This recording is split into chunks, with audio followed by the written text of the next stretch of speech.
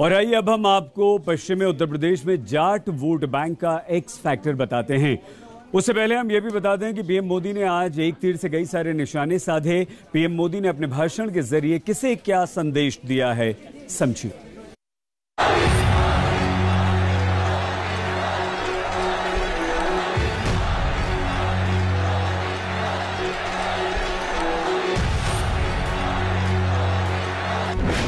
एक तीर कितने निशाने?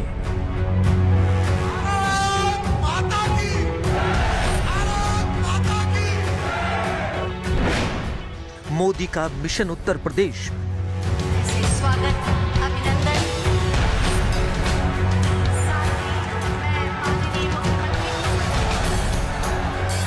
आज नरेंद्र मोदी के भाषण में मिशन उत्तर प्रदेश की पूरी छाप दिखी। भारत माता की। मोदी ने कुछ नामों के सहारे अपनी नीति और नीयत की व्याख्या की तो वहीं बिना नाम लिए अपने विरोधियों पर निशाना साधा। आज हम आपको मोदी के भाषण का एक्स फैक्टर बताते हैं। सबसे पहले बात उन नामों की, जो मोदी की ज़ुबान पर कई बार आए। राजा महेंद्र प्रताप सिंह, कल्याण सिंह, चौधरी चरण सिंह, योगी आदित्यनाथ। राजा महेंद्र प्रताप सिंह जी के बारे नरेंद्र मोदी ने राजा महेंद्र प्रताप सिंह का नाम लिया। उसके पीछे 2019 चुनाव में पश्चिमी यूपी में किया गया ऐलान था, यानी चुनावी वादा पूरा किया। वहीं कल्याण सिंह उत्तर प्रदेश में पिछड़ी जाति का बड़े चेहरा थे और पश्चिमी उत्तर प्रदेश में बीजेपी की जीत का बड़ा फैक्टर। आज मोदी ने कल्याण सिंह को याद करके पिछड़ी जाति को संदेश दिया है। आज कल्याण सिंह जी हमारे साथ होते। तो राजा महेंद्र प्रताप सिंह, राज्य विश्वविद्यालय और डिफेंस सेक्टर में बन रही अलीगढ़ की नई पहचान को देखकर बहुत खुश हुए होते और उनकी आत्मा जहाँ भी होगी, हमें आशीर्वाद देती होगी। पश्चिमी उत्तर प्रदेश की धरती पर जननायक चौधरी चरण सिंह का नाम प्रधानमंत्री मोदी ने लिया। नाम के पीछे वजह क्या? आप मोदी से सुनिए।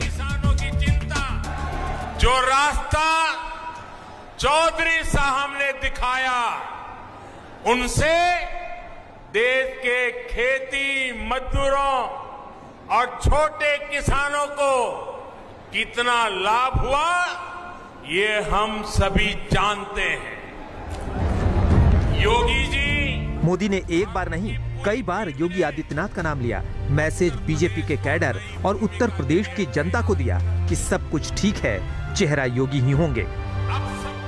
आज उत्तर प्रदेश डबल इंजन सरकार के डबल लाभ का बहुत बड़ा उदाहरण है। योगी जी और उनकी पूरी टीम ने सबका साथ, सबका विकास, सबका विश्वास के मंत्र पर चलते हुए उत्तर प्रदेश को नई भूमिका के लिए तैयार किया है। ये वो नाम है जो प्रधानमंत्री की मोदी की ज़ुबान पर नहीं आए, लेकिन निशाने पर रहे। अखिलेश यादव, राकेश टिकैत, मुख्तार अंसारी, अतीक अहमद। मोदी ने बिना नाम लिए अखिलेश यादव पर सियासी प्रहार किया। वो दिन मैं भूल नहीं सकता हूँ। जब 2017 से पहले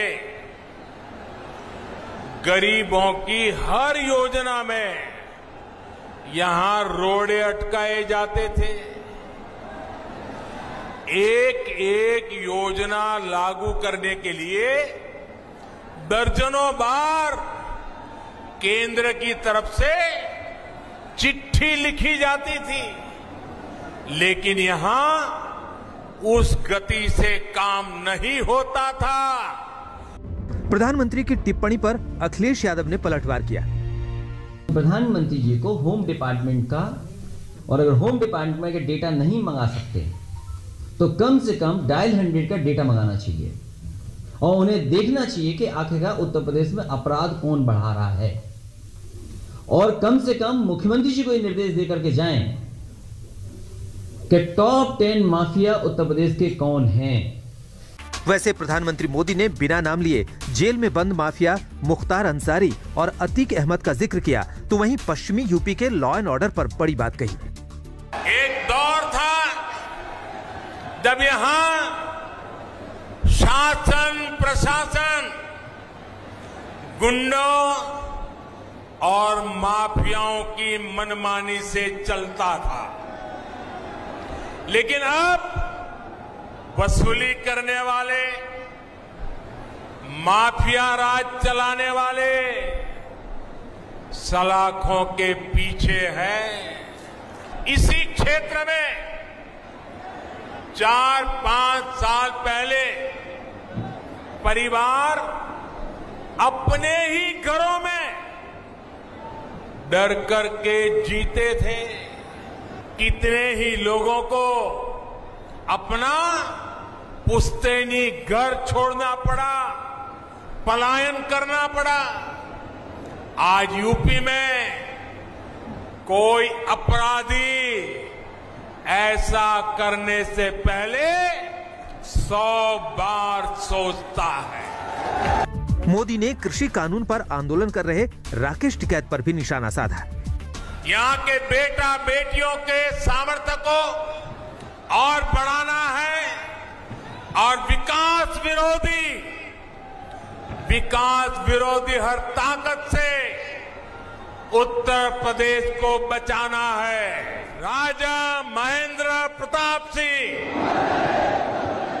यानी मोदी ने साफ़ कर दिया है कि आगे की चुनावी रणनीति क्या होगी चुनावी एजेंडा क्या है मुद्दे क्या होंगे। आज तक ब्यूरो।